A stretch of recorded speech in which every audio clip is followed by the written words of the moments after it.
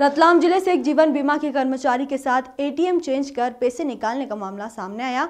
दरअसल कर्मचारी एसबीआई के एटीएम पर पैसे निकालने के लिए गया था। तभी पास खड़े अज्ञात व्यक्ति ने चालाकी से पैसे निकालने की मदद करने को लेकर कार्ड बदल दिया और फरार हो गया। दरअसल पूरा मामला इस तरह है कि जीवन बीमा के कर्मचारी एसबीआई के एटीएम से पैसा निकाल रहा था। जब उसने कार्ड डाला तो मशीन ने कार्ड बाहर फेंक दिया। तो फिर उसके पास खड़े अपरिचित व्यक्ति बोला कि, आपका कार्ड दो, मैं अंदर डालता हूँ। फिर उसने कार्ड बदल कर दूसरा कार्ड लगा दिया। तो फिर बीमा कर्मचारी ने पिन नंबर डाला तो अपरिचित आदमी ने पिन नंबर देख लिया। जब उससे पैसे नहीं निकले तो वह चला गया। शातिर व्यक्ति ने दूसरे एटीएम से दो दिन में करीब तिहत्तर हज़ार निकाल लिए। इसके बाद उसने थाने में लिखित आवेदन दिया, जिसके के आधार पर पुलिस जाँच कर रही है। रतलाम से सुल्तान किरमानी की रिपोर्ट। हाँ आपके साथ क्या घटना हो गई सर? मैं कल एटीएम से पैसे निकालने जाता है डीआरएम ऑफ़िस के सामने एसबीआई से। हम्म, तो मेरा मैंने कार्ड लगा तो क्लिक नहीं हुआ। तो मेरे पास में एक अपरिचित व्यक्ति खड़ा हुआ था। तो उनने बोला मैं लगाता हूँ कार्ड। तो उनने मुझे नकली कार्ड पकड़ा दिया।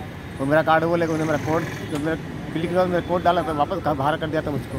उन्होंने मेरा कोड दिख लिया मेरा कार्ड चेंज कर लिया। और कल से लेकर अभी तक मेरे तिहत्तर हज़ार रुपये निकाल चुका हूँ। आज भी चार ट्रांजेक्शन हो गए कल भी दो तीन ट्रांजेक्शन एफ़ आई आर लिखा दिया आपने? एफ़ आई नहीं आवेदन दे चुका हूँ मैं।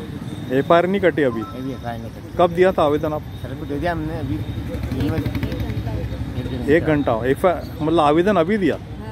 अभी पता चला। अभी मैं बैंक का जब पता पड़ा मैं कुछ अच्छा अभी बैंक से हो क्या आ रहे हो बैंक गया था मैं बैंक वाले क्या बोल रहे हैं? बैंक वाले ने तो बताया बोला आपके खाते में पैसा निकले जा रहा है। आपने लॉक करा दिया पैसा को? पैसा में ब्लॉक करा दिया एटीएम ब्लॉक कर दिया। अच्छा टी आई साहब ने क्या बोला कब तक? ऐसे में मेरे को कार्रवाई करने का आश्वासन दे चुके हैं। अच्छा। विजय सागरिया जी को उन्होंने अधिकृत करा है। कल वो एटीएम से बैंक से जाके एटीएम से संबंधित फुटेज निकालेंगे। पता करेंगे। क्या नाम है आपका? भागीरथ लोधू वाले क्या करते हो मैं भारतीय बीमा निगम में क्लर्क हूँ।